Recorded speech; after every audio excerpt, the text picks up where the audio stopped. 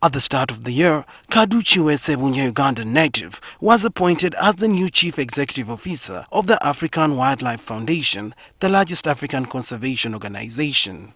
The African Wildlife Foundation, whose headquarters are found in Nairobi, Kenya, has a specific mission, which is to ensure that wildlife and wildlands thrive in modern Africa. And since 1961, the foundation has been focused on addressing Africa's conservation needs. Kaddu Sebunya is the only Ugandan to rise to the position of CEO of the African Wildlife Foundation, although he did once serve as the president of AWF. He spoke to NTV about his recent appointment and what he intends to do while in office. So we would like to see to develop programs that are inclusive and give role and attract young people to this sector. And when I say attracting young people to this sector, I'm not talking about turning young people into conservation. We want bankers to be part of this sector. We want lawyers to be part of this sector. We want MBA folks to be part of this sector.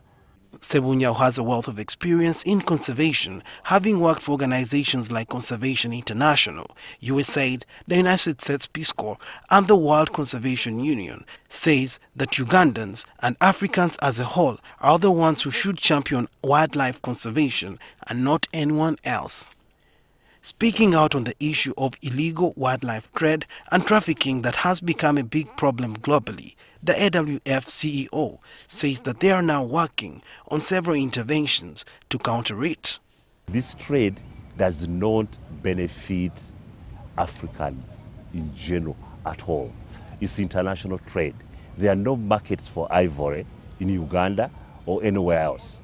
There are no Ugandans who buy rhino horn.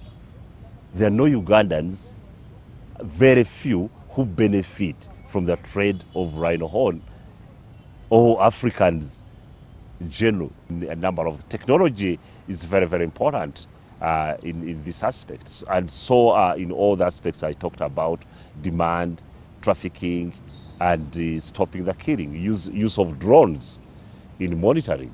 That's all technology.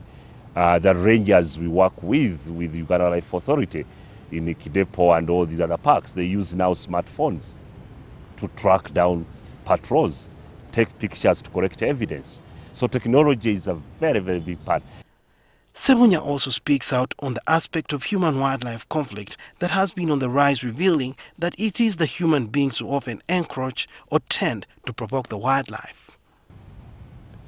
We've lived with these animals, or birds, or snakes, or whatever it is, or forests, all our lives. But the challenge has been the, the choices we've made in what we think development is, or what we aspire to have, or what we grow, or what we produce for our economic aspirations. If you grow sugarcane plantation near elephants, you're going to have human life conflict.